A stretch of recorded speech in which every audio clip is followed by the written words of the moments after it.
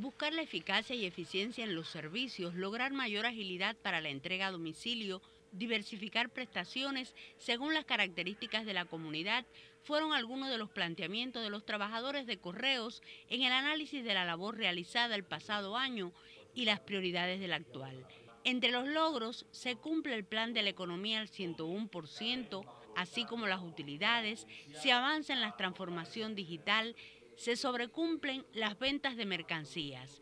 La entrega de paquetería rompió récord en el primer trimestre, no así en los últimos. Otra de las problemáticas es la necesidad de mayor disposición de dinero para hacer más rápidos la entrega de los giros nacionales.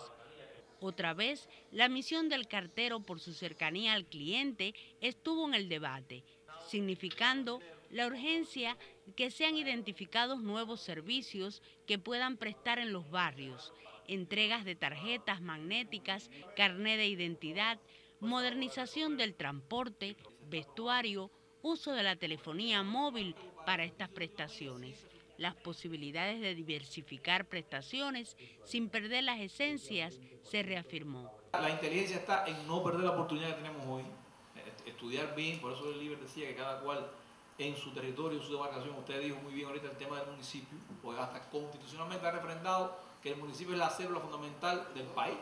Y hacia ahí se dan cuenta que hasta presupuestariamente se está dando autonomía para que el municipio pueda gestionar sus recursos.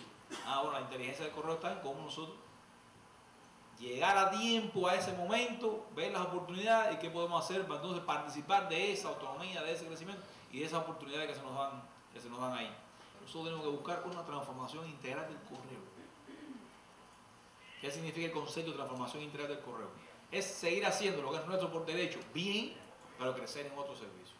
La ocasión permitió reconocer a los trabajadores destacados y los municipios de Cautucristo y Guisa destacados así como relevante Media Luna. Teresa Armesto, Sistema Informativo de la Televisión Cubana.